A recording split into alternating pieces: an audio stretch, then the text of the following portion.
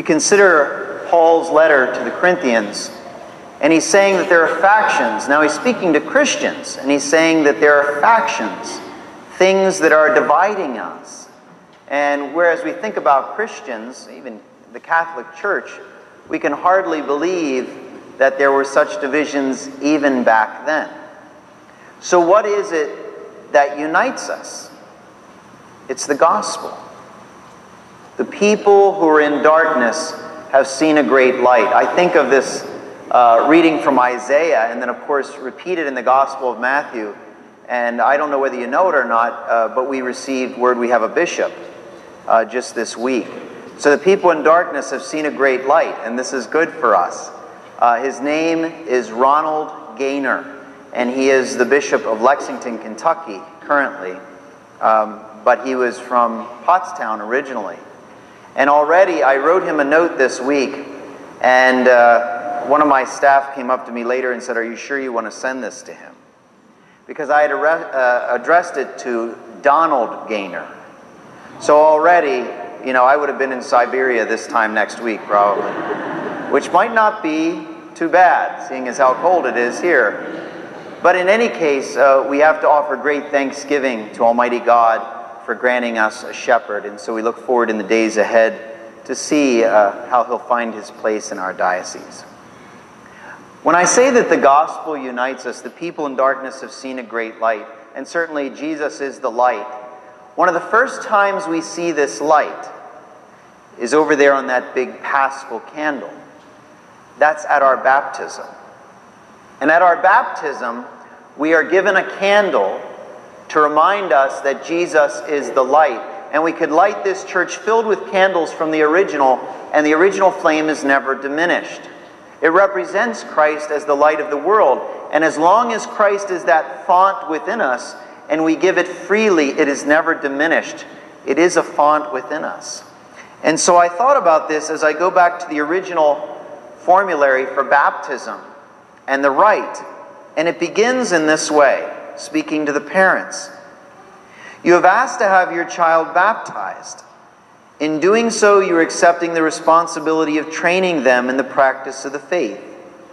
It will be your duty to bring them up to keep God's commandments as Christ taught us by loving God and our neighbor. Do you clearly understand what you are undertaking? And the answer is not yes, the answer is we do. Do is an action word. We do, and we will do. At the end of the rite, it actually gives a special blessing to the parents. And part of the blessing for the father says, God is the giver of all life, human and divine. May he bless the father of this child. He and his wife will be the first teachers of their child in the ways of the faith. May they also be the best of teachers, bearing witness to the faith by what they say and do in Christ Jesus our Lord. And so this baptismal rite begins with, we do. And it ends with saying, in all you do. It is an action word. And I, I bring this up because to, this week we celebrate Catholic Schools Week. But I think it also has to do with Catholic education in general. And we're all called to be educators. As the rite says, we should be the best teachers, the first teachers of our children in the ways of the faith.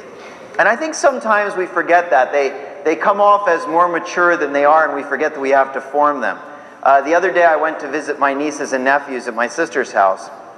And my one niece, Sophia, walked in the door, and I said, Well, good afternoon, cupcake. And she said, I'm not a cupcake. It's been a bad day. I thought, oh, well, so I tried to be console. Well, what happened? What can I do for you? Well, Eliana had a piece of gum on the bus, and she only gave me a small piece of the gum. And I said, well, honey, honey, she's bigger than you are. She needs more gum than you need. And she looked at me and she said, I'm not stupid. and walked into the next room. Now she's four, okay? Today I'm in my office and all of a sudden her picture fell off the wall. So I think there might be something more there too. I didn't tell my sister yet, but you know, something spiritual going on there. But for a four year old and having that response, you know, don't patronize me. I'm not stupid. And then I felt stupid for even saying that. We begin to treat them as though they are adults and as though they can make decisions for themselves. And yes, they can decide whether they want the blue socks or the red socks, but some other decisions are very important. For instance, we do force them to go to school. And if I ask for a show of hands, which I will not, of how many of them actually would want to stay home from school if they could, I think it would be overwhelming. I mean, you hear the screaming and yelling on a snow day, you know? So, probably 99%, if not 100% of them, would never go to school if we didn't force them to do that. And they can give us a number of reasons why they shouldn't have to go to school. And yet, when they are in their 20s or before, we want them to be employable.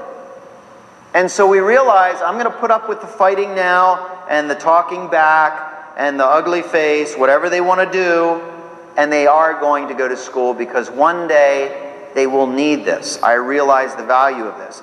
That we make them go to practice. And I would even say some of our athletes, uh, if they had their choice, they'd never go to practice. They go to the games, but they wouldn't go to practice. Who likes practice? Who likes weight training? Who likes all that stuff? And yet, when they get out on the court or the field, we don't want them to look like they don't know what they're doing. Or, you know, we don't want them to take the whole team down with them. We want them to develop as much as they can. And they may not like it, but we realize in the long run, at the very least, we don't want them to look bad. So they need to practice and they need to hone their skills. But when it comes to the practice of the faith, sometimes that's another battle, and we have to choose our battles. But that is the battle. It really is. Because if we are not raising our children with faith, then we're raising them with a philosophy. And philosophy is limited to this world pretty much. Even if you're talking metaphysics, it's, it's relegated to this world, it's existential, it's what we know through our experience. And, you know, if it exists, we experience it, taste, touch, smell, etc., etc. And the problem with the philosophy is there is no objective philosophy, which means my philosophy is just as good as yours, which means then that everything is relative. Because there is no objective truth in philosophy, then if we raise our child with a simple philosophy, it's never going to be something that they cannot deny. Because where did it come from? Well, it came from the majority rule or it came from a social contract. We just decided this is best for everyone. But it really boils down to relativity.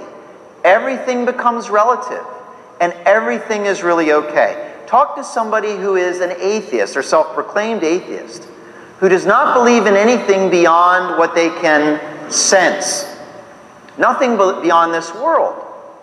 And you would have to ask them, well, what is good and evil then? If you say there is no good and evil, how do you live? And they would honestly have to say, Well, I can't live by what I believe. I can't live by this philosophy. Otherwise, we're equal to the animals pretty much. We have no more worth than they have. And I love my daughter, or I love my son. And so we can have a philosophy that guides our life, but in the end, it just becomes relative. It's whatever I think is best, it's my preference. And my child could easily come to me and say, Where is this coming from? It's just your preference. Well, this is my preference. I want to do something else. But if we look at our faith, something that is beyond what our fingers can touch or change or modify, it's an objective truth, then we also have to suffer to live by it. And we also have to act in ways that we might not want to all the time because we live by a higher power. And when it comes to the time when they're in their life and they might reach one of these deep canyons and the shadows are overwhelming and, and they can't seem to find a way out, philosophy is just going to lead them in circles. Ask St. Augustine because he spent 28 years just trying to sift through those things. Philosophy will always leave us floundering. But faith, even when it's difficult, and faith, even when it's hard to follow, and faith, even when we struggle with it, will always lead us to the one from whence we came. And that is why we value Catholic education so much. So, whether we're in the Catholic school, now I was raised in Catholic school, 12 years of Catholic school. I met my first girlfriend in first grade. Now, the relationship didn't last that long, probably because she didn't know she was my girlfriend at the time. And usually that's one of the qualifications. But we met each other because we were on the floor using our rulers to scrape the carpet clean at the end of the day. This is what we did. I remember Sister Pius going over and banging on the radiator to get it to work. And then it would start banging on its own after that, you know. And, and it was hot as Hades in the wintertime with all this steam heat. And, you know, we didn't have the iPads. We didn't even have computers in our school at that time. We didn't have all this technology. And yet, if you look through the history of Catholic education, they are some of the movers and shakers in our world, even if they still don't practice the faith. You know, we had some tragedies. Uh, when I was in grade school, we had a student who died. He had cancer. And he was one of the older students, so I didn't really know him that much. But I know what we did. We went to Mass, and we celebrated that. And we grieved through that through our faith. We could do that. It wasn't that we were just subjected to whatever religious assembly or whatever funeral thing that they had prepared. We were Catholic. And that's what we did, whether we were Catholic or not. We went to church. That we went to Mass every week. It was a part of what we did. And the pastor usually would bring out some kind of toys or something else uh, that he could engage us to try to break down the faith for us. We look forward to that. He would come into our classrooms, and we always knew when he was in the school because we could smell his cigar. Yes, those were the days, you know? And so even today, when I smell a cigar, it brings back such fine memories for me of, of childhood. And so, yeah, we didn't have all the bells and whistles, but we had our faith. And it was a family. And you know as well as I do, you don't get to, to choose your family. Some of us wouldn't choose our families if we had that opportunity. And that's really what the Catholic school was. It was a family. You saw all the same characters coming up. It was a family. And it was one of those families where, you know, we can mess with each other, but don't you dare mess with us. We hold it together. And I would say that broadens out into the church community too. I've noticed this especially here at St. Joan of Arc, that we have a number of kids and a number of families who are very involved in the life of the church and they're very involved in the Mass and all the celebrations we have, but they don't go to St. Joan of Arc School. Some of them go to Hershey, some of them go to Dauphin, some of them, you know, go to other high schools or grade schools in the area. Many of them are homeschooled as well. And they become an active part in this community. So when I talk about Catholic education, yes, we're celebrating Catholic education within the school system. But we need to celebrate Catholic education within the church because we are all called to educate our children. So, those kids who go to public school, and I see them here all the time, and they're participating and they're praying, they are receiving a Catholic education, a good Catholic education. Those uh, children who are homeschooled, and they are here and they're participating in the life of the church, they are receiving a good Catholic education. But we have to do more. We have uh, kids here in religious education as well because they go to the public schools. An hour and a half of religious education uh, once a week can't do it. And I would say the same for our children who go to the Catholic school here. That they have class every day, religion class, five days a week, but that's not enough. You know as well as I do, our children are not always good at listening to what we tell them to do, but they are experts at imitating us. And so they will see that lived faith. That's what we in the education community call the hidden curriculum. It's not necessarily right out there, but they see that example and they follow that example. We are called to be the light. That's why light is so important at the baptism. That's why they bring in the paschal candle. And that's why they give the witnesses or the godparents this candle And they don't say, okay, once it's burned out, just put it on a shelf or put it in their memory box or whatever. We should bring that out to remind us of our promises. So the question why am I telling you all this? You're in church. It's like preaching to the choir. Because the reason we have Catholic education is so those that are educated go out and teach. And so that's what I'm asking you tonight to take that education seriously, that it doesn't end when we're a child. Look at what Jesus did. Jesus blessed the children and taught the adults. We kind of teach the children and bless the adults. We reversed it. And so I'm asking you to continue to educate yourself in the ways of the faith so that you might teach your children and your children's children and the children who are not here with us today, some of them in their 40s or 60s or 80s, to go beyond here. The closing of the Mass, I'll often say the Mass has ended, go forth. But the other ending could be go forth and proclaim the gospel of the Lord. And we do that most solemnly and most actively and most effectively with our lives.